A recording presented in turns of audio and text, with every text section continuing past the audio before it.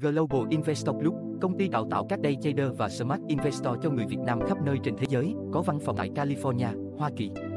Được thành lập vào năm 2020 bởi CEO Quang Đặng. Anh là tác giả sách kinh doanh ngoại hối, xuất bản 2005 và khách mời trong chương trình phố Bonsa TV.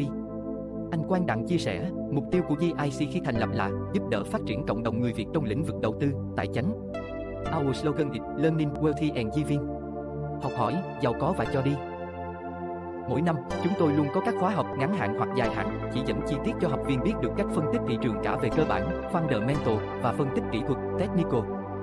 Mỗi khóa học kéo dài từ 3 tới 12 tháng tại văn phòng ở California do chính anh Quang Đặng trực tiếp giảng dạy.